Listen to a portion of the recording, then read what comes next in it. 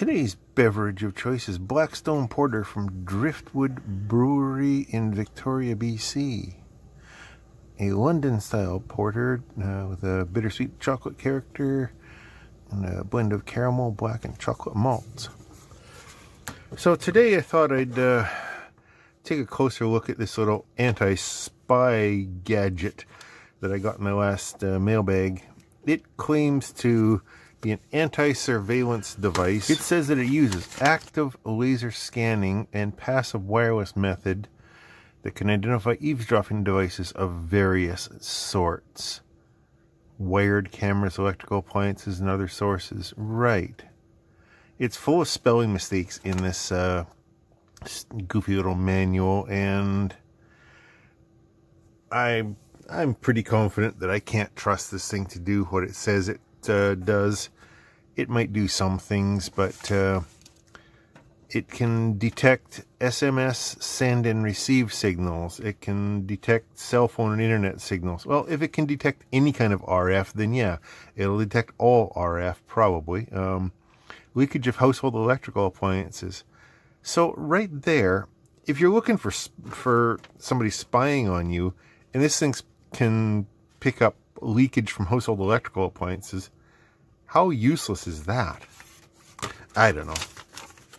I'm not even going to bother reading the rest of the whys in that manual.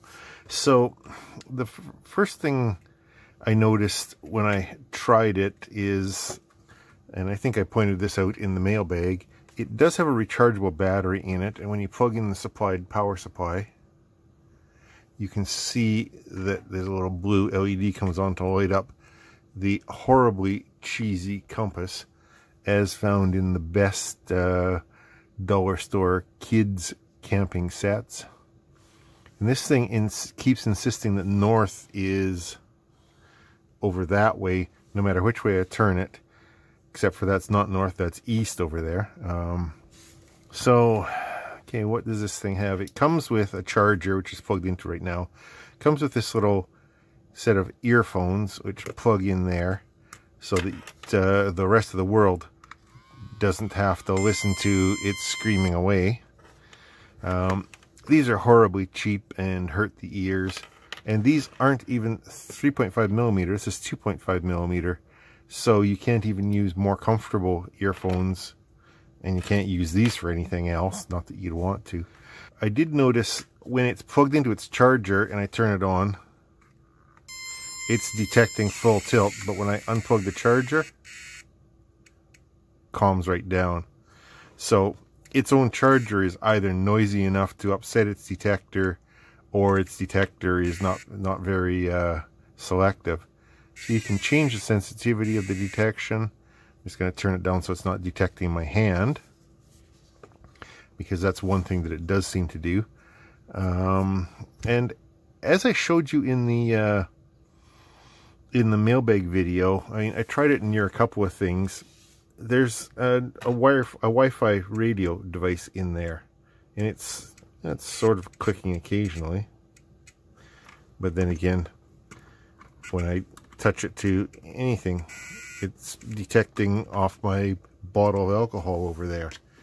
Um, it's, oh, it's not. Okay. At one point it was detecting off my power, my switching power supply here. Um, but if I hold it up to my phone, yes, this is, this, my camera is a cell phone. Cell phones are RF devices.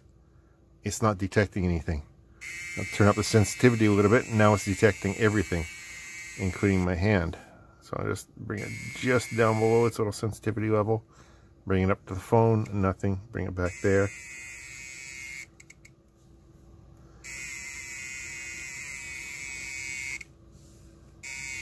Yeah, maybe it's detecting something off that. I don't know. I don't know, it's hard to tell. So I'm going to turn that noisemaker down. It's also got a little buzzer, a vibrator inside it. So you can, according to the manual, discreetly have it in your pocket. And it'll just buzz when it picks up something. Like your cell phone going off maybe, or the Wi-Fi in the room. So the other thing it claims is that it uses laser detection to detect cameras. it does that by having these blinking red no they're not lasers. These are just LEDs however if you push and hold the button the controls that turns them on and off you can change how fast they blink which I guess is a feature. And you can turn them on and off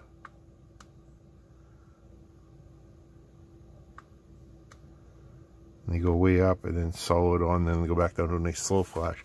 So it claims that that plus this little red lens in here lets you detect camera lenses. Uh, hidden camera lenses. So let's get some cameras down in here. Here's my little SQ8 uh, little camera. Here is a cell phone with a camera lens. Here is a an ancient webcam so let's see if we can detect any of these things Oh, so you can see a little bit of reflection off the glass of that lens. Okay. And how about the uh, this guy? At this distance, you can see a little bit of reflection off the lens. What happens if we get a little bit further away? Yeah, sort of if you get straight on the axis, but anywhere else, you can't. But if you're straight on axis with any reflective surface, it can. Okay, how about the cell phone? Well, yeah, you can sort of detect the camera lens there, but you can also pick up the chrome just as much. So, I don't know how useful that laser is. Except for it's another Y. Uh, okay, well, whatever. Yeah, that, that's enough poking fun at this thing. It's obviously a cheap piece of shit. More interestingly, let's see what's inside it, shall we? So there's four screws in the back of here. We'll yoink those out and see what's under there.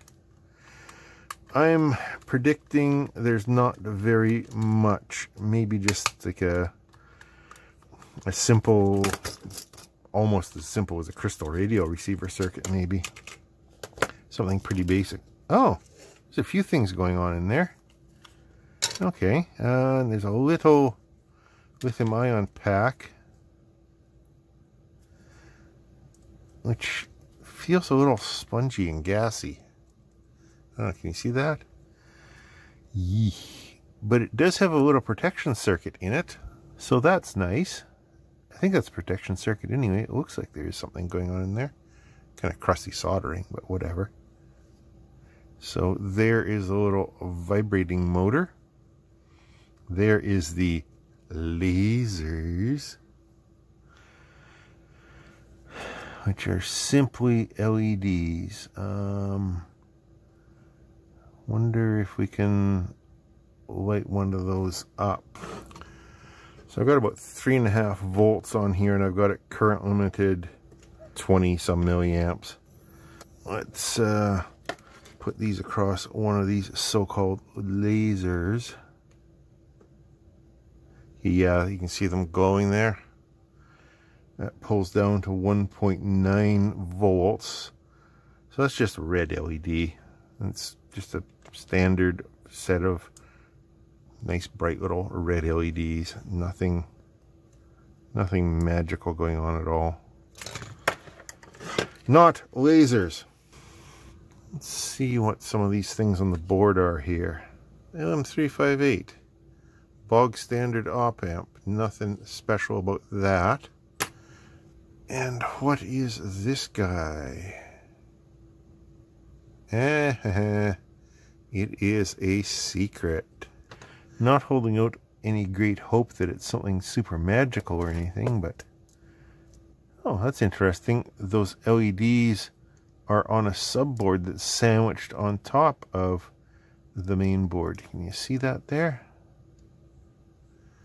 That's interesting, I suppose. I spent a bit more time poking around this uh, LM358 op amp. So this this side of it, uh, the two input pins are grounded and the output pin goes nowhere. So they're only using half of it.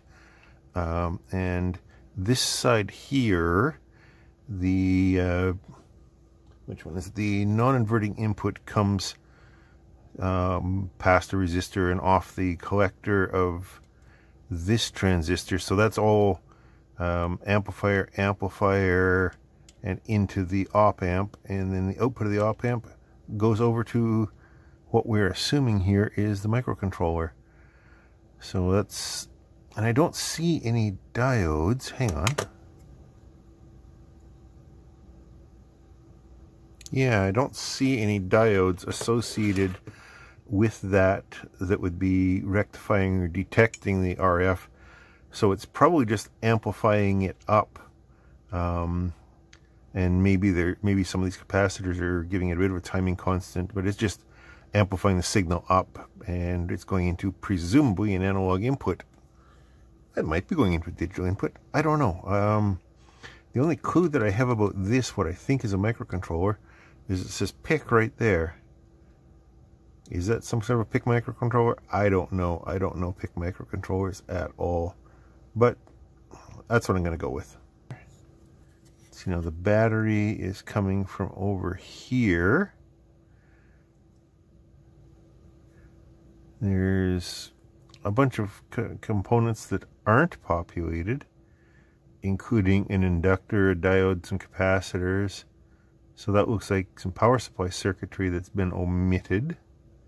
So a little diode there, which is probably steering the power either from the internal battery or or the external jack, I would guess.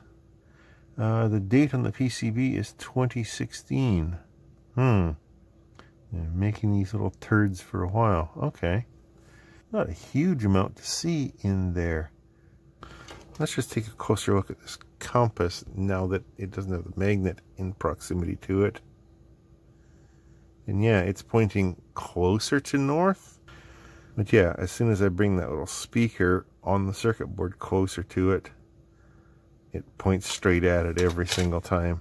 Let's uh, live a little bit dangerously and peel the Kapton off this battery and just see what's on that little protection board there. Oh wow, that is just little concerning that it's so puffy. And that came off easily. Okay, that's not really a surprise. That's a DW01. So that's just a standard battery protection uh, chip and it's MOSFET. Okay, but yeah. Now, can you see that? Yeesh. You know what might be more interesting is taking a look inside its uh, power supply. It's probably pretty cheap and shitty too. It says on it 5 volt 500 milliamp. So nothing too spectacular. Not even sure what I'd reuse that for. And you could hear earlier that it was pretty noisy. Okay, just unclip that. Uh, capacitors. This is designed to have a USB connector on there, so it's designed just to be a normal little 5 volt charge board. Okay.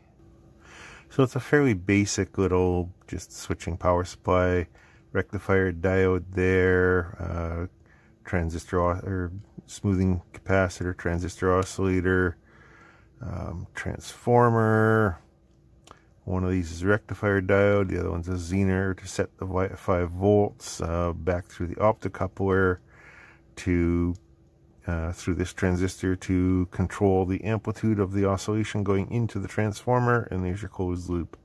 Here's the two AC inputs at 110 volts. Um, pretty meager separation there.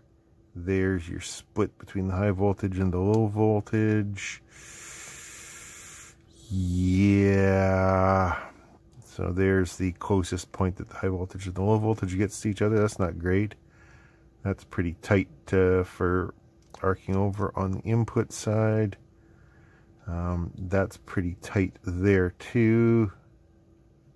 Uh, this track right here is one side of the AC incoming, theoretically neutral, but this thing's not polarized, so you plug it in either way up. So that could just as easily be live. Not at all what I would call a safe thing. Ah, the 5 volt line on the output is pinched. Nice. Ooh, you know, this lead's folded over there for the resistor for this LED. Yeah, that's only 5 volts, but come on, guys. Really? And again, that one, it wouldn't take much if something just mashed against it to short some of those across the tracks. Yeah, like this little guy here, and this is on the high voltage side. And actually, is that... That's one transistor junction away from being hot. Look at that. Wow. Yeah. Not, uh, not a quality item but not really anything that I didn't expect with this cheap little piece of shit. Like I said, I only paid, what was it, uh, 294 at auction for this thing as a curiosity, just to see exactly how shitty it is. Bottom line, yeah, don't waste your money. Unless you want, you know, some nice bright LEDs and a vibrating motor. And, oh, look, that's already broken off. I didn't even notice that before. That little connection of the battery, when I unfolded it, just completely broke off. Wow. I guess I don't have to worry about that board being live then, or shorting out my uh, lithium cell. Anyway, it was kind of fun going through this thing. Maybe the compass will be uh, useful for something. I'll stick it on the dog's leash. Um, yeah, well, if, uh, if you have any uh, any conflicting opinions, uh, or you just want to laugh with me, uh, please join me down in the comments section. I will, uh, yeah, talk to you later. Thanks for watching.